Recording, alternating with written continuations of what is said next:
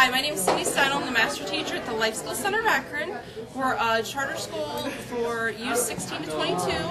Uh, it's a second chance school for students who dropped out of the previous high schools. And today I have with me Rashida Evans. We are currently doing my season's greetings breakfast for all the students and their families. Uh, we had probably over 100 people today to have pancakes, French toast, eggs, sausage, and just to have a good time right before the holiday break. And Rashida, what, what are your plans for the break? Um, just to spend time with my family and give gifts and eat. That's about it. And go right. shopping a little bit more.